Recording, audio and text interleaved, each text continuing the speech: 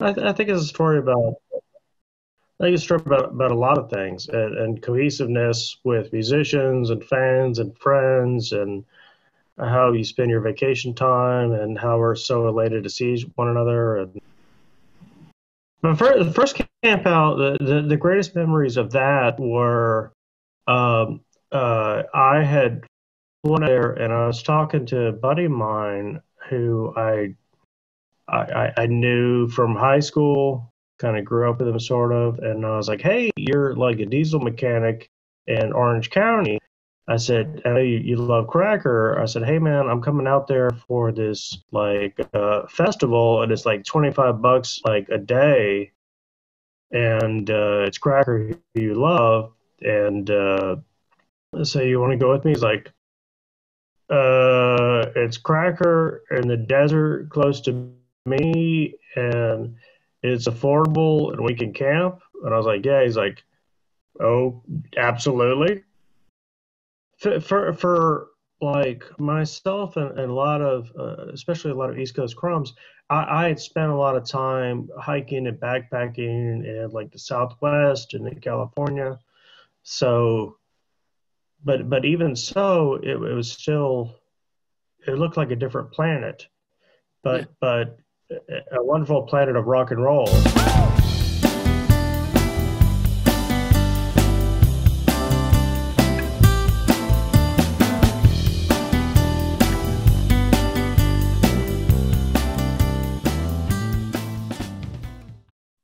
first thing that comes to mind is David Lowery saying, "Hi, I'm Shitty Batman."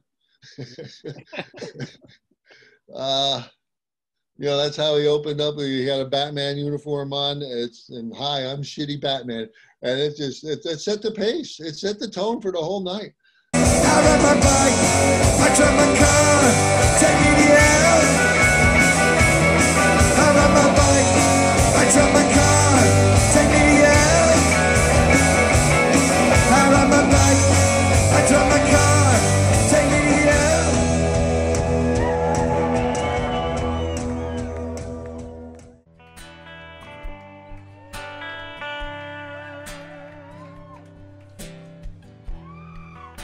So, Julie Bradlow, welcome to Lo-Fi Lounge. And, uh, Thank you, Chris.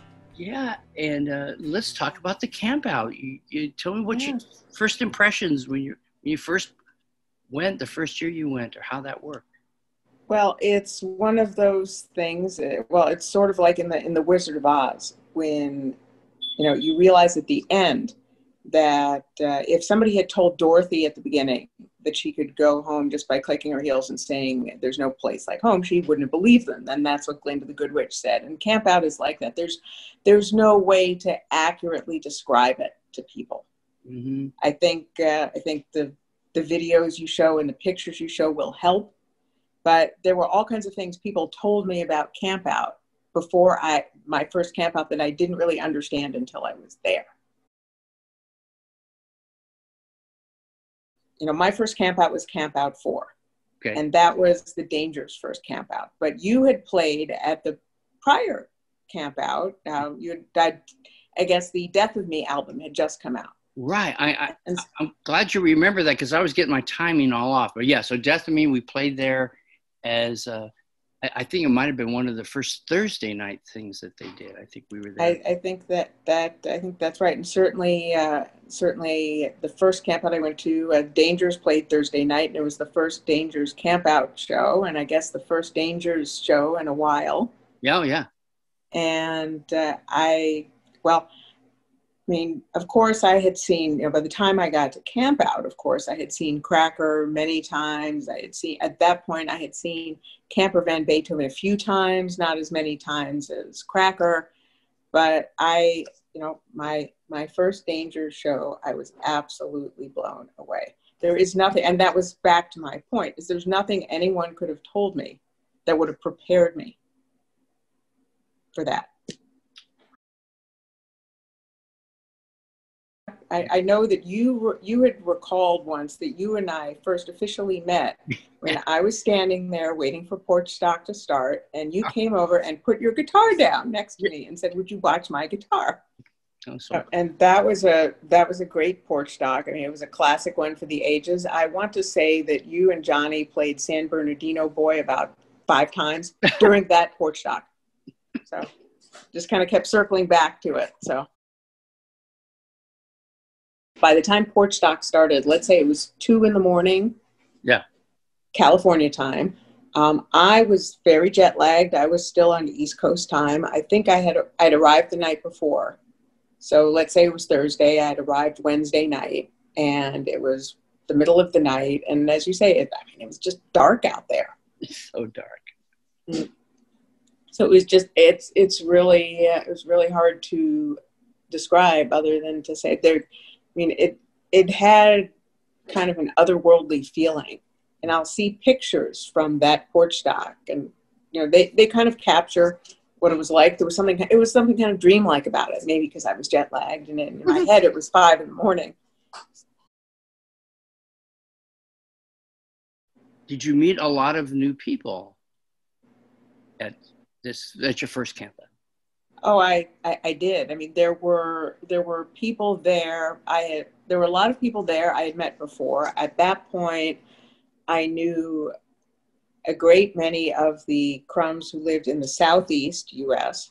A lot of whom were at uh, Camp Out. I had actually met a lot of the West Coast Crumbs a few months earlier when Camper Van Beethoven had its 25th anniversary show at the Fillmore in San Francisco Yeah.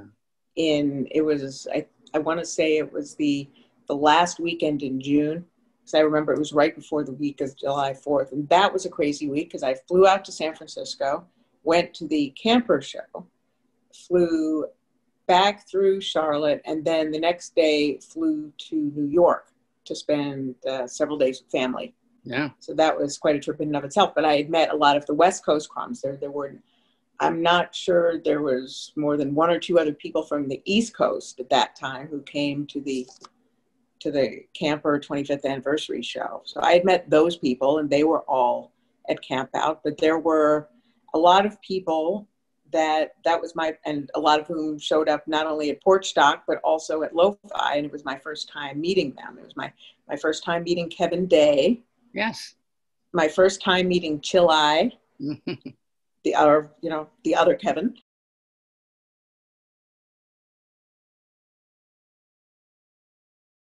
Camp Out 4, if I recall, there were not any costume themes. We all just kind of showed up. Yeah. And uh, lean and mean. It was lean and mean. It was like Yes. a pure, pure version. But the, tell folks about the costume because that really became a um, it became a thing. Oh no, uh, no question. It uh, well, the way I describe it, it's sort of like the that Dr. Seuss book, The 500 Hats of Bartholomew Cubbins, whereas he's taking off the hats, they become fancier and fancier, and uh, the the costume themes kind of got that way. If I recall, the first uh, the first uh, camp out with costumes was Camp Out Five, and David had asked that one night everybody dress all in white. I think that was I think that was a shorter camp out. It was just a Friday and Saturday, and he had asked, okay, Friday night, you know, would everybody please dress in white? Saturday night, would everyone please dress in black?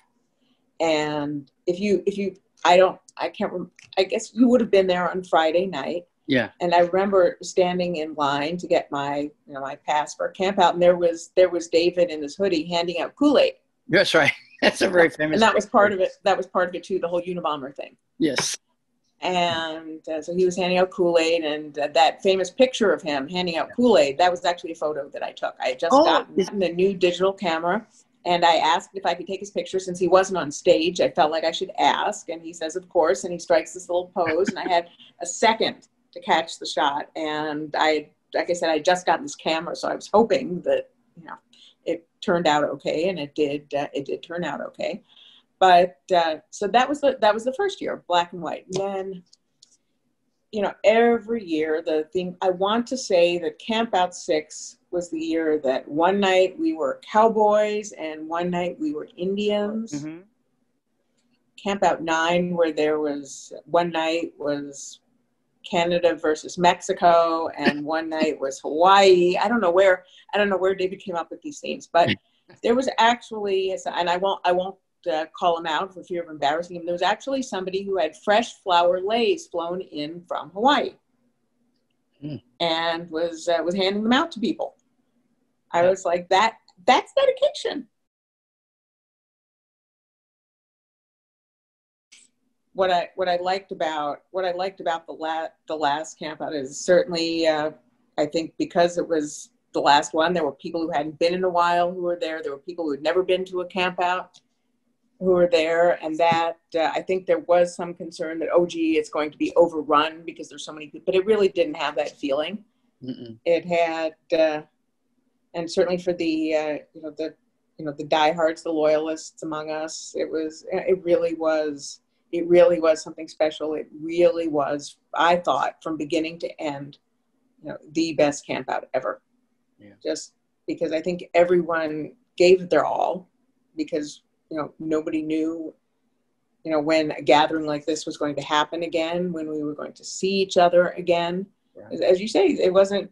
It was partly about the music, partly about the you know this group of people, and uh, just this this notion of just you know putting you know putting the past in the past and going forward into the you know the unknown Mhm. and well i all i all i can say is uh, is given given the way 2020 has turned out that turned out to be the this absolutely brilliant stroke of foresight.